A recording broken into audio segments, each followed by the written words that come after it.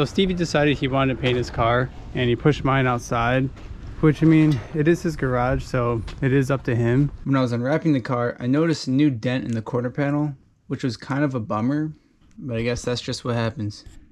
It's kind of a crappy way to start the day off, but I'm not gonna let a little dent upset me. Well, since I have the car out here, I think I'm gonna put on this jig while I have the space to take off the other door.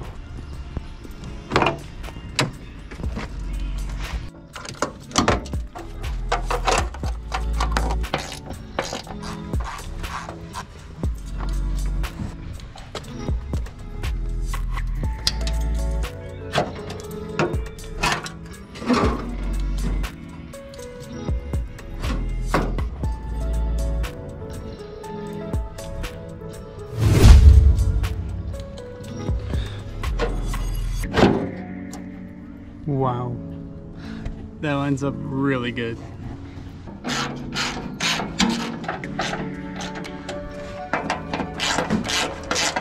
So I guess some ants moved into the roof.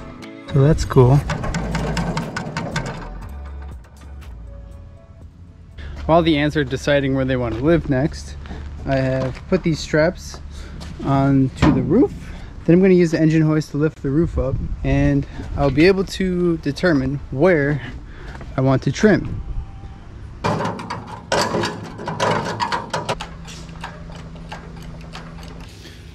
Man, they're still going crazy. looks like they're like throwing stuff off the side. Like just jumping off. Ugh, I don't even want to know what those white sacks are. this corner too. Oh man. Looks like they have a whole, uh, God, nasty. Looks like they're throwing stuff overboard. Jeez. Alright, so I've let them sit for a bit, and now they're just in like these clumps. When you flick them off with a screwdriver, they don't like that. oh my goodness. Big on! Oh my gosh. Holy fuck. Sorry for all the ant content. Today I became an exterminator.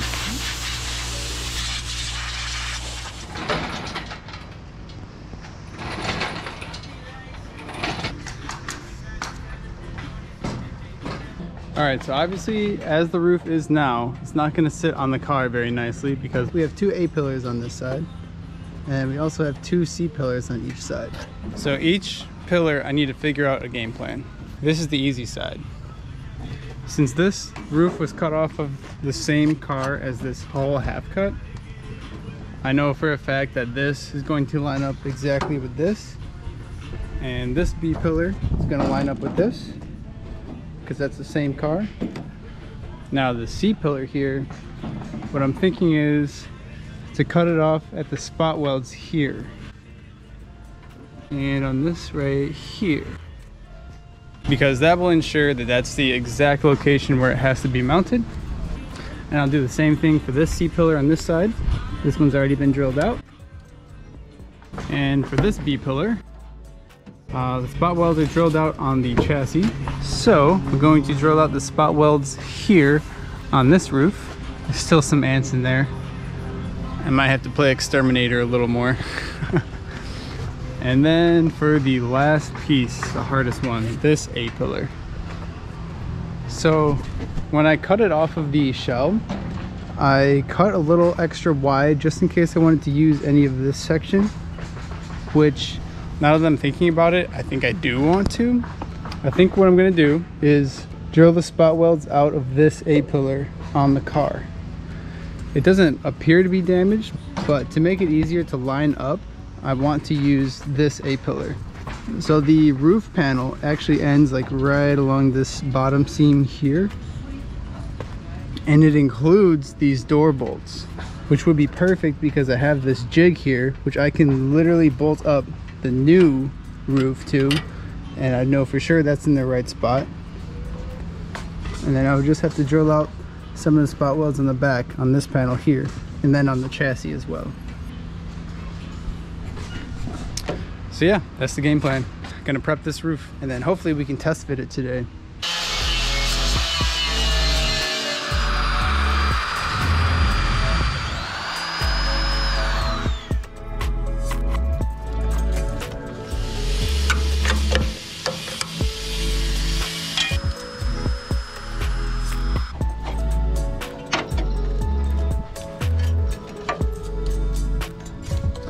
Oh, man, there's still a lot of ants in there. Looks like they're sleeping. So that's super cool. You can see now that the door bolts here are actually a part of the whole entire A-pillar. It goes all the way up.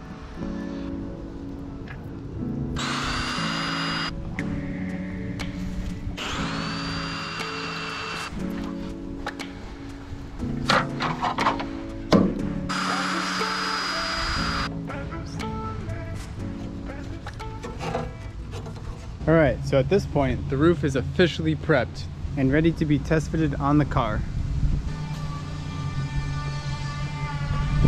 So now what I need to do is take off the door jig and also the whole firewall section because I need to get access to the panel that holds on this A-pillar.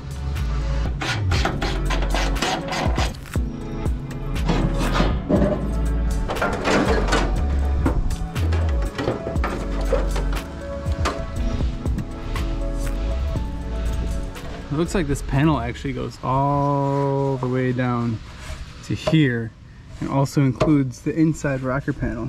But I don't know if I'm trying to drill all of those out right now. So instead, I'm thinking I might drill it down to here and then cut it. And then when I reinstall it, I can just weld that seam back together. Because I'd hate to break apart this whole side of the car just to free up this little spot. I remember I always wondered what this little sticker was inside of the door, but when you move it, it's an alignment hole. This aligns multiple sheets of metal for the A-pillar structure. I'm assuming during like factory installation, there was like a keyhole or something that like slid into this when everything was being welded together. So I'll definitely have to utilize that.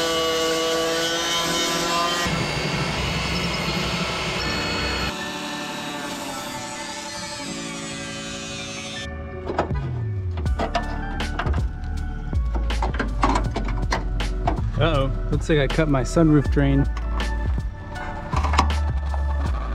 It's a good thing the new roof is a slick top.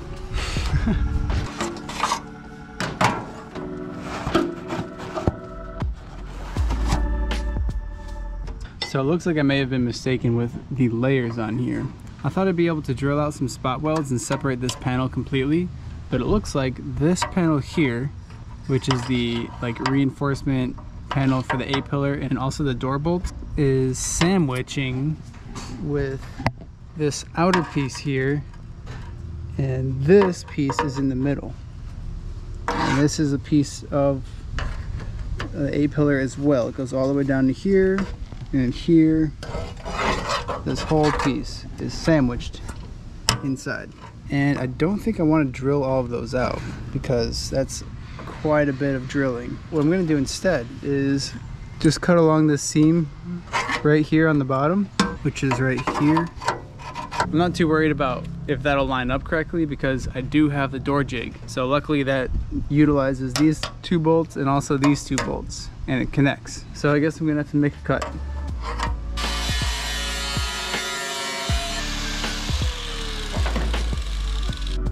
Wow, who knew I could cut more off of this thing?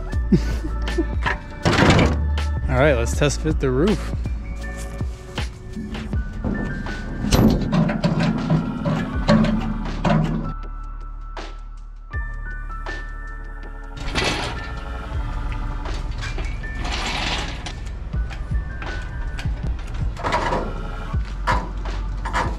This is so exciting. So the roof is fully on the car right now. The weight is off of the hoist. It's not exactly lined up right now, but I can see where it needs to be trimmed. So it looks like this part needs to be trimmed a little bit. This is going to be perfect because obviously this is the same car. This is the same car, obviously. And this A-pillar. This seam right here is the same as this seam right here. So I need to trim this one back a little bit and then straighten this one out. Then I'll be able to know that's the exact location where it needs to be because it'll be like bump to bump, you know? So clean that up a little bit. This C-pillar would line up perfectly if it weren't for that one that needed to be trimmed and also this B-pillar needs to be trimmed. So the backside is looking pretty good. It looks like it'll sit in there pretty nicely. But I'm gonna need to trim off some of this outside piece. This is actually the quarter panel.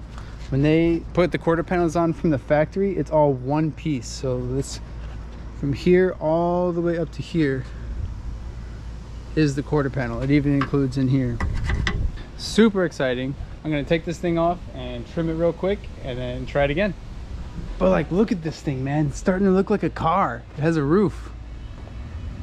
Ah, so exciting. okay, get to trimming. If you haven't already, don't forget to drop a like. And if you want to see more of this build, subscribe. Thanks again.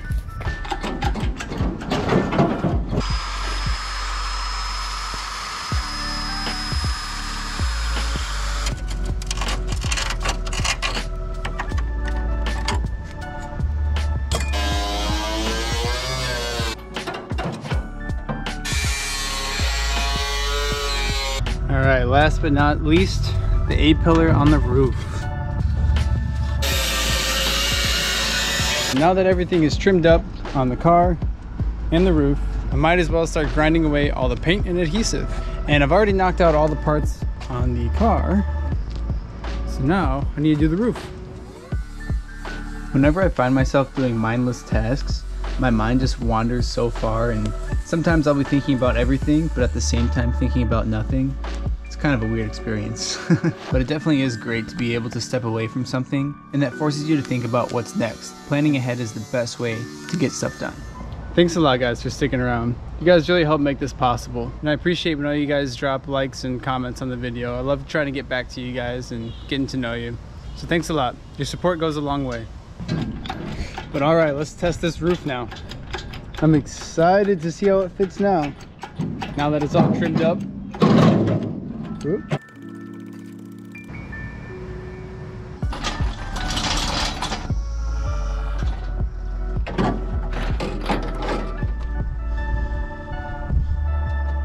All right, need to push this in a little bit more and lower it down some too, it looks like.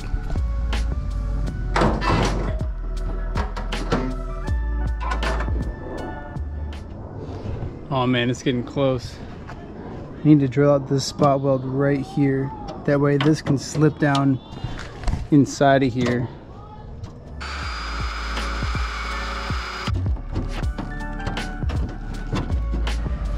Here it is. Oh my gosh, that's so exciting. It lines up so well. I'll have to extend this a little bit, but that's all right. I have all of this pre-bent metal to use. This one won't be too bad, especially because I haven't even mounted the jig yet. That'll just secure it even better. But this line isn't too bad. Once I put the jig on there, I'll know how much more I need to either trim it or gap it. This side is when it's pushed back into place. This fits in here really nicely. And same thing with this one, if I have to gap it out, I'll have metal for that. But I also wanted it to be gapped so I would have access to weld this like inner piece. So yeah, now I'm super curious to see how the trunk fits on here. Should I mount the trunk? All right, we'll grab the trunk.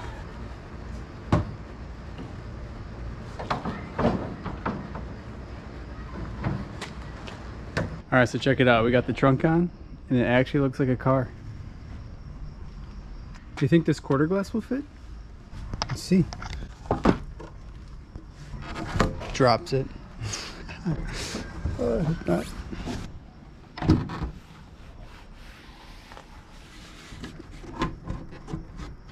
All right, I'd definitely say this is starting to look like a car again.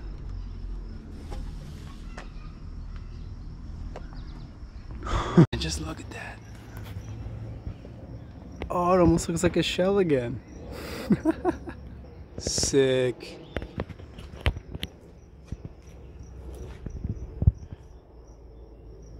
I even installed the door jig in the front. So sick.